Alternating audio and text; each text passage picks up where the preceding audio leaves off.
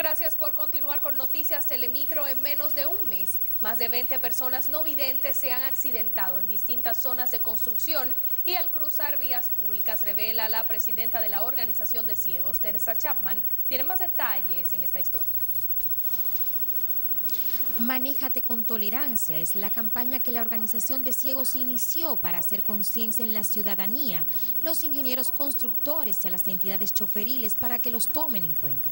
Que tomen un poquito de conciencia y nos regalen 45 segundos de su tiempo pensando que cuando dejan una zanja, un hoyo eh, destapado, lo colocan un letrero en mala posición, eh, parquean un vehículo en las aceras, Todas estas son causas de accidentes para nuestros miembros.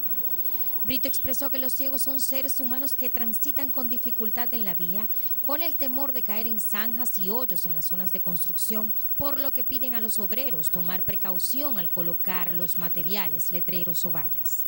Los invidentes claman porque los conductores de vehículos y autobuses los tomen en cuenta cuando quieren cruzar la vía pública. Si tú regalas un minuto de tu celular, regálanos un minuto para cruzar. La organización de ciegos pide comprensión cuando al abordar un vehículo se les dé un tiempo de espera prudente para no poner en peligro su integridad física. Cédeles el paso, regálale 45 segundos de tu tiempo.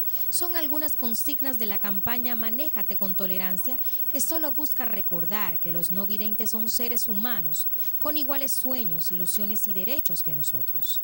Teresa Chapman, Noticias Telemicro.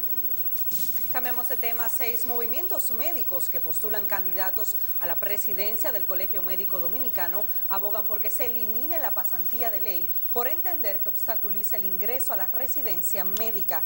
Mejores pensiones y salarios dignos para los profesionales de la salud son parte también de las propuestas del candidato Santos Ramírez. La lucha es sentarnos con, con las autoridades y con las ARS. ¿Sabe por qué? Porque con ella nosotros vamos a obtener mejor salario. Nosotros queremos que se cumpla con el contenido de la ley 414-98. ¿Por qué? Porque los médicos cuando se pensionan deben hacerse con el 100% de, de, su último sueldo. Y lo están pensionando con lo que le da la gana. Antes a dirigir el gremio postulan a Merim Hernández a la regional del distrito y Jacqueline Carrasco a la provincia Santo Domingo. Las elecciones para escoger los miembros de la nueva directiva se celebrarán el 9 de noviembre.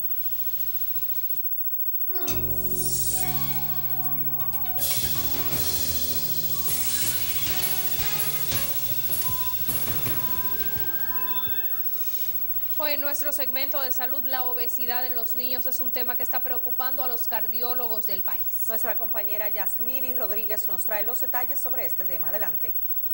Gracias, buenas tardes. Se tiene la idea de que la gordura en los niños es salud, algo que está muy alejado de la realidad.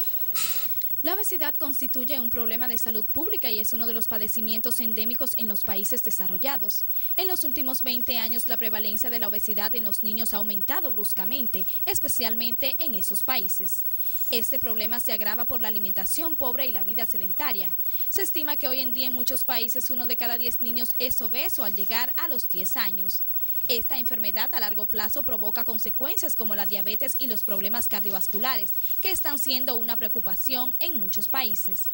Es por esto que la Fundación Dominicana de Cardiología y el Instituto Dominicano de Cardiología han alertado sobre la gran preocupación que reina entre los especialistas de la cardiología debido a los crecientes niveles de obesidad que se observan en la población dominicana, sobre todo en los niños. Los especialistas aseguran que es necesario que en República Dominicana se adopten medidas que regulen el desayuno o merienda que los niños ingieren en las escuelas y colegios, tal como está sucediendo en otros países. El país ha tenido un gran avance en el área de cardiología, sobre todo a nivel de tratamientos de última generación, pero las acciones dirigidas a prevenir las enfermedades que degeneran en problemas cardiovasculares como la obesidad deben ser reforzadas. La obesidad en los niños puede degenerar además en baja autoestima, introversión y rechazo social. Una de las soluciones a este problema se deriva del cambio de cultura alimenticia y el estilo de vida, lo cual debe empezar por aplicarse a través de programas educativos dirigidos a los niños. Países como Reino Unido y Dinamarca han aumentado el impuesto a las grasas precisamente como una forma de reducir la tasa de obesidad.